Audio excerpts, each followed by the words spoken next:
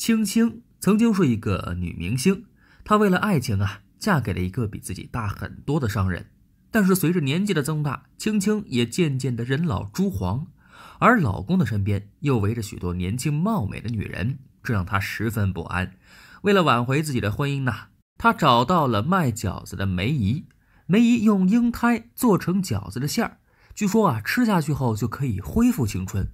一开始青青也有些拒绝。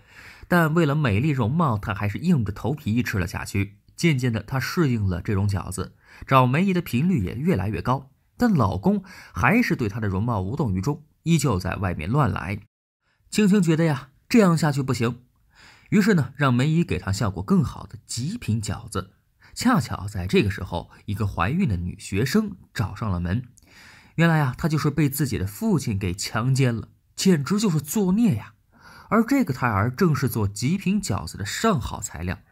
梅姨用这个婴胎给青青做了一锅蒸饺，青青信心满满的吃下饺子。梅姨呢也向她保证啊，她一定会脱胎换骨。之后，青青回了家，老公看到容光焕发的青青，一下子迷上了她，成功的回到了她的怀抱。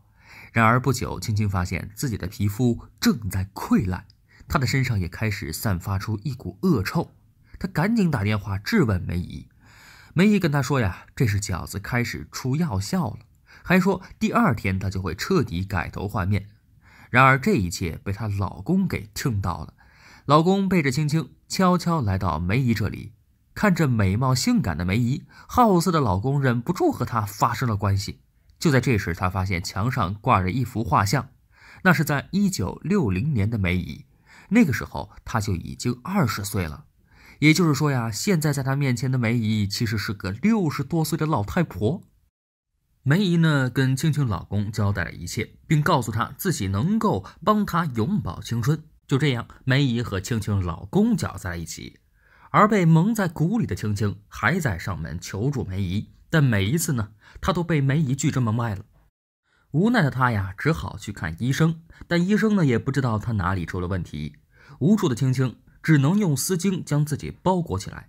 她再一次见到梅姨是在理发店，但是已经傍上她老公的梅姨根本就不管青青的死活。过了不久，青青再次打电话过去，却发现梅姨那里被查封了。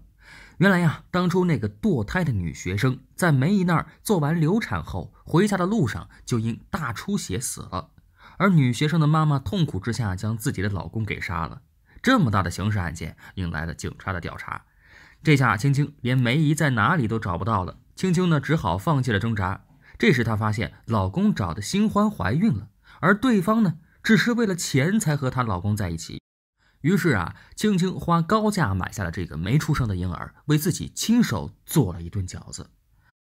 花为悦己者容，很多女人呢更是为了保持容貌不惜代价吃尽苦头，只为了能让男人留在自己身边。可惜呀，年华已经逝去，又怎么能够复返？所以呀，不要成为男人的附属品，也不要轻易放弃自己的事业。